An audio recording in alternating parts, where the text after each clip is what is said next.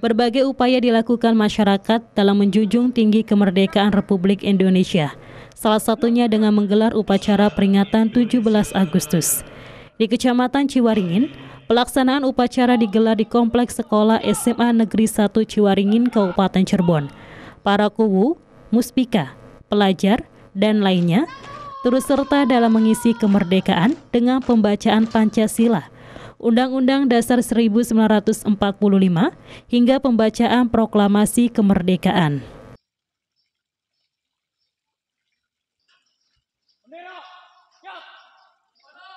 Sementara pasukan pengibar bendera atau Paskibra yang bertugas dalam mengibarkan bendera merah putih merupakan siswa-siswi dari SMA Negeri 1 Ciwaringin sementara pembina upacara oleh Camat Ciwaringin.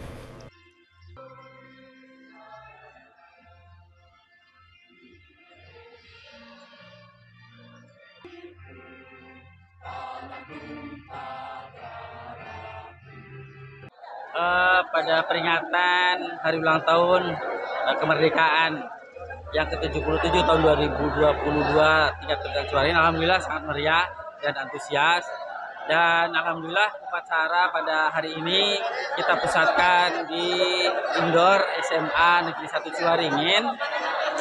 Beberapa hal yang bisa apa namanya eh, maksud yang pertama kita ingin memperkenalkan lebih jauh lagi SMA Negeri 1 Ciwaringin bahwa SMA Negeri 1 Ciwaringin ini tidak kalah dalam segi hal baik fasilitas prestasi dan sebagainya dengan SMA-SMA negeri yang lain di Kabupaten Cirebon. Alhamdulillah untuk kita upacara RI yang ke-7 tahun 2022 di S1 Ciwaring. Pusatkan di SMA 1 Ciwaringin di mana seluruh uh, kegiatan kita dukung penuh eh, dan uh, seluruh yang ada di di SMA di Ciwaringin.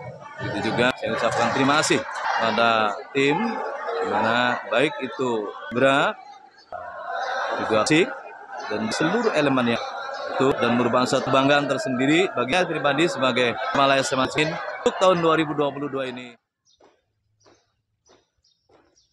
Forum Kuwu Ciwaringin menginstruksikan dalam upacara 17 Agustus ini agar para kuwu hadir beserta istrinya dan ke depan upacara tingkat kecamatan akan dilakukan secara bergilir di desa-desa yang ada di Kecamatan Ciwaringin dengan beragam kegiatan lain yang lebih meriah. dan lain-lain diselenggarakan dengan cara seksama. Berbudaya, sejahtera, agamis, maju. Hadirin yang saya hormati, setelah upacara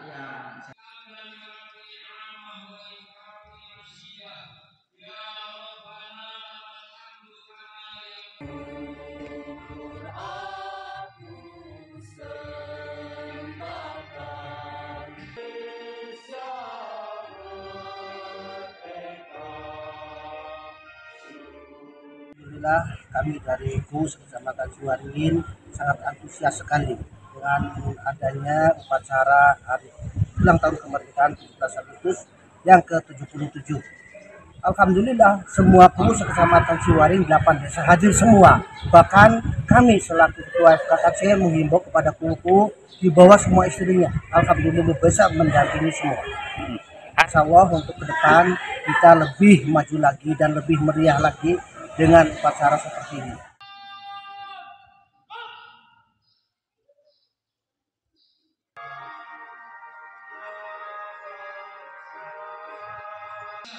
Melalui momentum upacara di SMA Negeri Ciwaringin ini, sebagai salah satu upaya mengenalkan sekolah yang memiliki fasilitas yang baik dan menjadi lembaga pendidikan yang tidak kalah dengan sekolah lainnya.